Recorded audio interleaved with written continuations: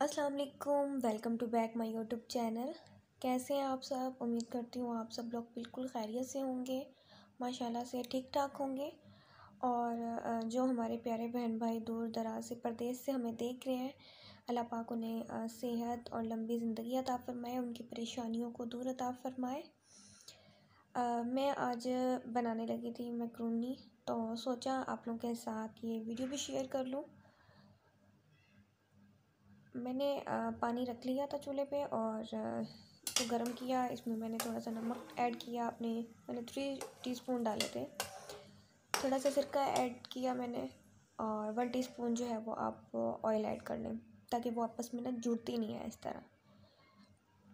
जब पानी पकने लग जाए तो इस पर आपने मैक्रोनी डाल देनी है। इसको अच्छे से हिला लेना है ताकि, इसको हिलाते रहना ताकि वो आपस में जुड़े नहीं।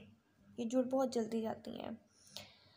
हमारी जो है वो मैक्रोनी तैयार हो चुकी थी तो मैंने अब निकाल ली।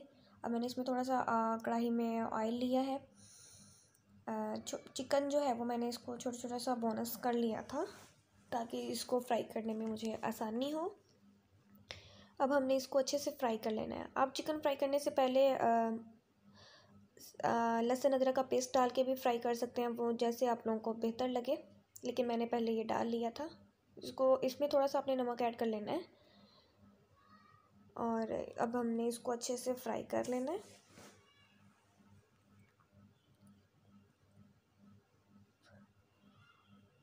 ऑयल कम लग रहा था मुझे, इसमें तो मैंने थोड़ा सा और ऐड कर लिया। यहाँ पे हमारा चिकन देखे तैयार हो चुका है तकरीबन। अब मैंने कढ़ाई में लहसुन अदरक का जो है वो पेस्ट डाल लिया है। इसको अच्छे से हमने हिलाना है ताकि नीचे ना लगे। हल्का हल्का सा हमने इसको ब्राउन कर लेना है।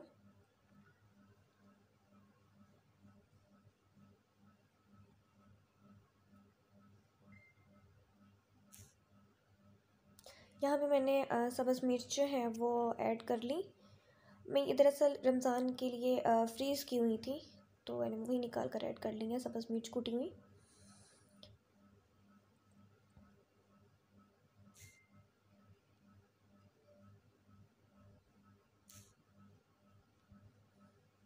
इसको अच्छे से हिलाना है ताकि इसके मिर्चों के अंदर जो बर्फ़ जमी हुई है वो खुट जाए। क्योंकि रमज़ान के लिए जो है वो मैंने पहले ही कूट के रख ली थी। क्योंकि आसानी होती है इस तरह अगर बना हो ना, बनी हो, पहले ही सी कूट के रखी हूँ। हमारी मिर्चें जो हमारी रेडी हो चुकी हैं, अब मैंने इसमें जो बोनस किया हुआ चिकन था फ्राई किया, वो मैंने इसमें डाल दिया है।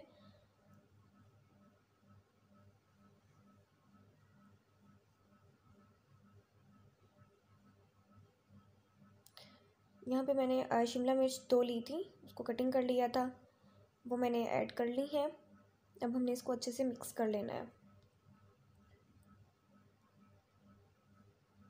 अगर आप लोगों को हमारी वीडियो पसंद आए तो हमारी वीडियो में कमेंट ज़रूर कीजिएगा लाइक कीजिएगा शेयर कीजिएगा और सब्सक्राइब करना मत भूलिएगा।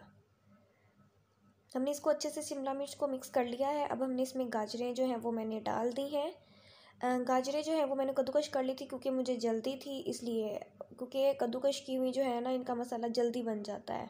अगर हम उसको कटिंग करके डालेंगे तो हमारे मसाले में बनने में जो है वो देर लगती है तो इसलिए मैंने इसे कद्दूकश करके डाल थी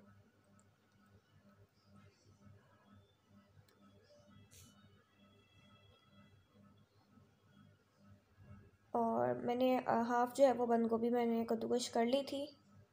वो भी मैंने इसमें ऐड कर ली। सॉरी कद्दूकश नहीं कटिंग की है मैंने। कभी कभार कद्दूकश भी कर लेती हूँ, जैसे ठीक लगे।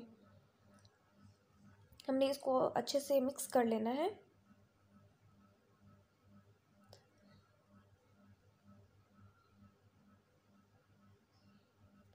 अब हमने इस तीन से चार मिनट के लिए अच्छे से इसको भूनना भी है साथ साथ और साथ ही मैंने इसमें जो है वो हसब मामूल के मुताबिक मैंने इसमें काली मिर्च ऐड कर दी है, जितना आपने इसमें खटास रखनी है, जितना आपको अच्छा लगे उतनी ऐड कर लें।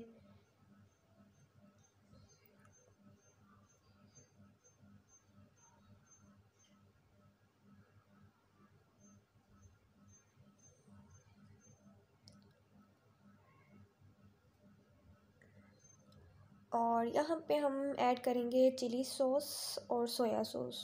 वो भी मैंने अपने हिसाब से डाल ली है, जितना मेरा ये अमेज़ा है, उस हिसाब से आप लोगों ने डाल लेनी है। तीखी रखनी है या लाइट मिर्च वाली रखनी है, जैसे आप लोगों को बेहतर लगे। हमने इसको अब अच्छे से मिक्स कर लिया है। और हमने इसको दो तीन मिनट के लिए भून लेना है। ये देखिए हमारा मसाला कितना तैयार हो चुका है। और यहाँ पे मैंने जो है वो मैक्रोनी ऐड कर ली है, जो कि मैंने पहले बॉयल कर ली थी। लेकिन दरअसल मेरा मसाला जो है वो ज़्यादा था तो मैंने इसलिए थोड़ी सी स्पैगेटी का जो पैकेट है, वो मैंने वो बॉयल करके फिर वो भी साथ ऐड किया। यहाँ पे देखिए मेरी जो है वो मैक्रोनी तैयार हो चुकी है और बहुत ही मज़ेदार है। मैंने ये फ़र्स्ट टाइम ये स्पैगेटी भी थोड़ी सी मैंने मिक्स करके डाली है, लेकिन बहुत ही मज़े की बनी है। मिलते हैं हम आपके साथ नेक्स्ट डे अल्लाह हाफिज़.